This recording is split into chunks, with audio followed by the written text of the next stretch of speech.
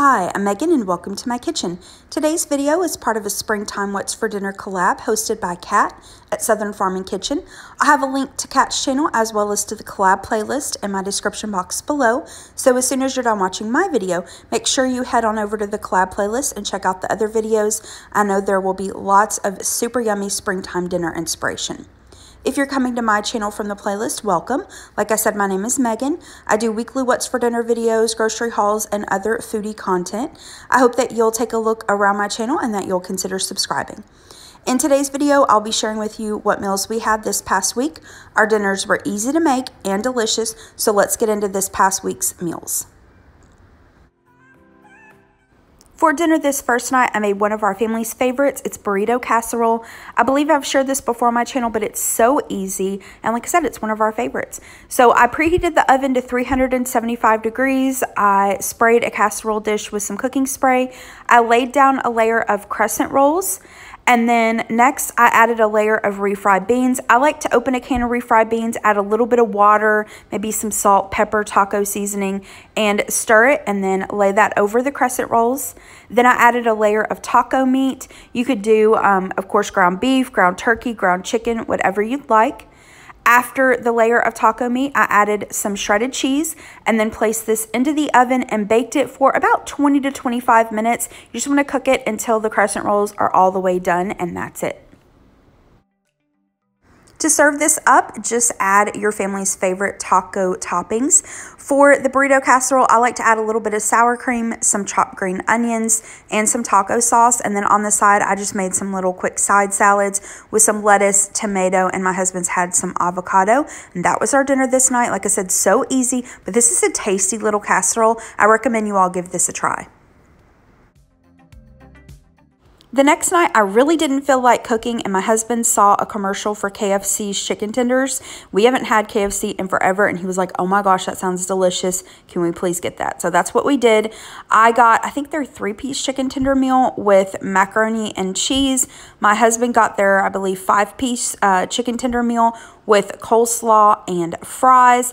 And then if you ordered through the app, there was some kind of deal where you got a free chicken sandwich. So we um, just did that. My husband ate it for lunch the next day. Here's a picture of my plate. So I just have the biscuit, the chicken tenders, and the macaroni and cheese. Um, they forgot to give us any sauces at all. So I just whipped up a quick um, homemade honey mustard dressing. I've shared this many, many times before my channel. It's just mayonnaise, mustard, and honey. That was our dinner this night. This was so good. I love having fried chicken, especially in this springtime. For whatever reason, I just feel like fried chicken and the springtime go together. I remember having fried chicken like at church get togethers or after church on Sunday or for picnics. So this was really yummy and it totally hit the spot. For dinner the next night, I tried a new recipe for chicken piccata and artichokes. I'll, of course, have the recipe linked in my description box below. I was really excited to try this recipe for really three reasons. One, I've never had chicken piccata, let alone made it. Two, keeping with the kind of springtime what's for dinner theme this week, I was excited to try artichokes are in season during the springtime. You've got your citrus fruits, so lemon, and just really, you know, when, when we move towards the springtime, we start moving towards more lighter dishes coming out of the winter and fall where we tend to eat a lot of more comfort food. And third, I had a jar of capers in my pantry that I really needed to use up, and I had about a half a jar of marinated artichokes in my fridge that I needed to do something with. So this recipe was perfect. And like I said, I'd never had this before, let alone made it. This was delicious. It was so, so good. I recommend you all give this a try. Let me show you how I made it. For one of my sides, I'm going to make some mashed potatoes. I just took some russet potatoes, washed them really well, peeled them, cut them into cubes, placed them in some water, and boiled them until they were tender. I'm going to drain those, and then I'll mash those up. Now for the chicken, I'm going to add some olive oil to my skillet. Turn this on about medium-high heat. Once it's up to temperature, in this dish here, I have a little bit of flour with some salt and pepper. I've dredged my chicken cutlets into the flour. I'm going to add them to my hot skillet and then cook them uh, for about maybe three to five minutes on each side. And then once they are cooked all the way through, I'm going to remove them to a dish and set that aside. Now, don't wipe out that pan. There's yummy flavor in it. And a quick note, you might have to cook your chicken in batches depending on how much chicken you have. To that skillet, I'm adding my butter, a little bit more olive oil. I'm going to add in some minced garlic and then my artichoke hearts. And I'm going to cook this until the garlic uh, is soft and fragrant for about 30 seconds to a minute. I'm stirring that to release the brown bits from the bottom of the skillet. Next, I'm going to add in the white wine. Now, you can, of course, use whatever white wine you prefer. I have some of this alcohol-free Chardonnay on hand. mentioned before, we're just not personally alcohol drinkers, but I did have this on hand. We had bought some non-alcoholic drinks back around Christmas time. If you don't want to use white wine or you don't have it, you could just use extra chicken broth. So once I've added the wine, I am going to bring this to a simmer and cook it until it's reduced by half, about two to three minutes. Next, I'm going to add in the chicken broth, or in my case, I'm using water with some of this chicken bouillon.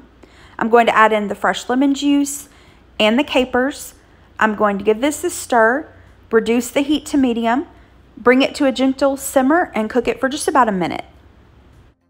Next, I'm going to stir in the butter and then cook this, stirring it every once in a while until the sauce begins to thicken. It'll take about three to five minutes.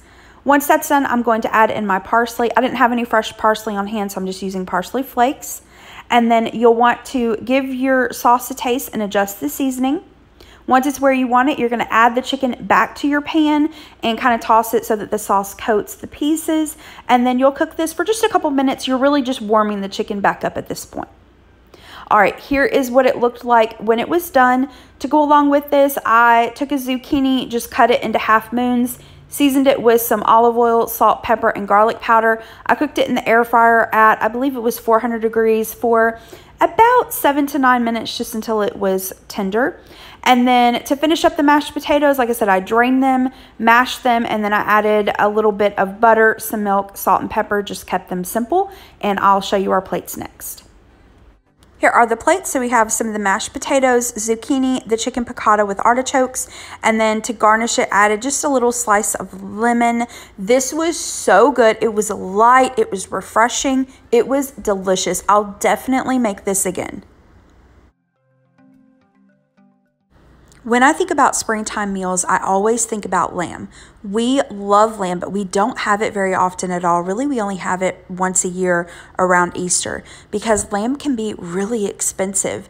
But luckily, around Easter, it normally goes on sale. So I always watch the weekly ads and sale prices and try to get it, like I said, when it's on sale. So this week, Aldi had it. I grabbed one of the leg of lamb roasts. Let me show you how I made this. I removed this from the wrapper. Now mine had a net on it. If yours doesn't, you may want to secure it with some kitchen twine. And I forgot to mention this, but this is a boneless leg of lamb roast. I rubbed this with some olive oil. I seasoned it pretty generously with some salt, pepper, dried rosemary, dried thyme. And then I took a little paring knife. I cut some slits in the roast and I added in some garlic slivers, then this is going to go into the preheated oven. I baked mine for about an hour. How long you bake your roast, it really depends on how big your roast is and also, it depends on how you like your lamb cooked. We like ours more medium rare, um, but of course, if you like yours medium well or even well done, it's going to take a little bit longer. So I'll include a link to a recipe that I kind of took inspiration from in the description box below. It has the temperatures and approximate cooking times um, listed in that. So I'll put that down in the description box. For the sides tonight, a few weeks ago, I was at Aldi and I saw this four cheese risotto mix. I didn't have a use for it at the time, but it looked delicious, so I grabbed it. I thought it would go perfectly with the lamb tonight, so I'm going to make that. And then I have a few fresh carrots on hand. I really need to use those up before they go bad, so I'm going to make some honeyed carrots. I'm going to cook the carrots up and then add some butter, honey, and brown sugar. That risotto mix was easy and it was tasty. Basically, all I did was add the mix and some cold water to a pot, brought it to a boil, simmered it for about 15 to 20 minutes until the rice was tender, and then added in a little bit of butter, some Parmesan cheese, and I decided to add in some frozen peas. Peas during the springtime are in peak season. They're so, so yummy. All right, for the carrots, I really should have peeled these, but I was feeling lazy this night. So I just cut them into little coins. I covered them in water, boiled them until they were tender. Once they were tender, I added in the butter, honey, and brown sugar and cooked them for just a couple more minutes. Here's the finished lamb roast. I allowed this to rest for about 10 minutes and then I'm going to remove the netting and slice it up. Here's the finished risotto and then we have our carrots. We've got our sliced lamb. And to go along with this, I like to serve some mint jelly. I just get this at the regular grocery store. And next I'll show you our plates. Here's everything served up. I cannot even begin to explain how delicious this meal was. So, so good. That risotto mix was delicious. I definitely get that again. Those carrots are so good and sweet. And then we had the lamb with the mint jelly. Oh, so good. For dinner the next night, I made slow cooker barbecue ribs. In my last Good Chop haul, I ordered these St. Louis style ribs, so I decided to cook those up. All I'm going to do is remove the ribs from the packaging and then I patted them dry with some paper towels. Next, I'm going to add some seasoning to the ribs. Use whatever seasonings you'd like. I have a little bit of this homemade barbecue rub on hand. I've shared this before on my channel. This is so easy. You probably already have everything in your pantry. I'll link that in the description box below. I also had some of this Kinder's barbecue seasoning on hand, so I decided to use that as well. I'm just going to rub all sides of the meat really well with those seasonings. I'm going to place them into my slow cooker. And then I added a few drops of liquid smoke and I'm using this sweet and spicy Baby Ray's barbecue sauce. This is what I had on hand, and we hadn't tried it before, but it was good. It did have a little kick to it, but it was delicious. We loved it. All right, so once I've added the barbecue sauce, I'm going to spread that around on the ribs a little bit, cover it with a lid, and then I cook this on low for about seven to eight hours. For one of my sides, I'm making a cracked out pea salad. This is from the plain chicken. I'll have the recipe in the description box. In this bowl, I've got some ranch dressing. You can, of course, use bottled. I didn't have any on hand, so I just whipped up some semi-homemade. To that, I'm adding in my mayonnaise. Next, I'm going to add in the peas. These are just frozen peas that I uh, slightly defrosted. I'm going to add in some shredded cheese, cooked crumbled bacon, and some chopped green onions, and I'm going to stir that until it's combined really well. Next, I'm going to add in my pasta. This is elbow macaroni that I cooked in some salted water. Cooked it until it was tender, drained it really well, and ran some cold water over it. I'm going to stir that until it's combined and then place this into the refrigerator, covered of course, and allow it to sit until we're ready for dinner. Here are the ribs after about eight hours. About halfway through the cooking process, I did rotate the ribs. So the ribs that were on the bottom of the slow cooker, I moved on top. The ones that were on top, I moved to the bottom. I hope that makes sense. I placed the ribs onto a foil lined baking sheet. I'm going to brush both sides with some barbecue sauce and then I just pop this under the broiler for a couple minutes. I had some fresh fruit on hand that I needed to use up, so I decided to do a quick fruit salad. I love doing fruit salads in the springtime. Again, I'm using what I have on hand. Use what you've got on hand or what you and your family like. Here I've got some strawberries, kiwi, fresh pineapple, some grapes, and then I had a can of mandarin oranges and juice. I just drained that, and then I'm going to stir everything until it's combined really well. Here are those ribs out of the broiler, and then we've got the pea salad along with our fruit salad. Next, I'll show you our plates. This was so incredibly delicious. Those ribs were so flavorful and tender. That pea salad was yummy. I mean, you can't go wrong with ranch and bacon and cheese and carbs, right? and then the fruit salad, so good. The fruit was perfectly sweet and ripe. So, so yummy. For the last dinner in this week's video, I made roast beef paninis. I love doing sandwiches in the springtime. They're so quick and easy. And also, at least here in the South where I live, I prefer eating outside during the springtime, like doing picnics or even just going and eating on the porch or the patio before the awful mosquitoes and humidity come with the summertime. so, and plus I had a couple things on hand that I needed to use up. So these were perfect. One of those things were these ciabatta rolls. They were going to go bad on me. Um, So I just split those. I'm adding a layer of mayonnaise and then I needed to use up this roast beef. So I'm going to add a layer of the roast beef. Now this next ingredient you totally don't have to add, but I was in like a little gourmet food shop the other day and I saw these balsamic caramelized onions and they just sounded amazing.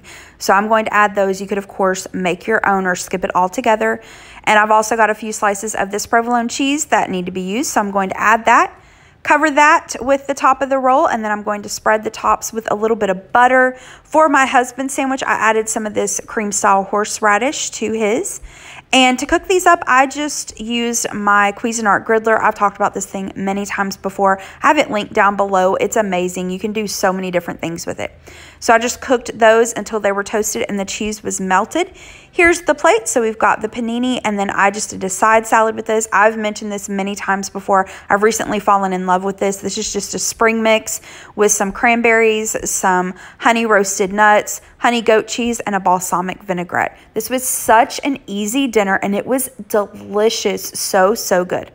All right, that's it for this week's video. Thank you so much for watching. I hope that you liked this video and it gave you some dinner inspiration. If you did like it, please hit the thumbs up button below and subscribe to my channel if you're not already. And don't forget to check out the Springtime What's for Dinner video collab. Again, I'll have that linked in my description box below. Thanks so much. Have a great rest of the day. Bye-bye.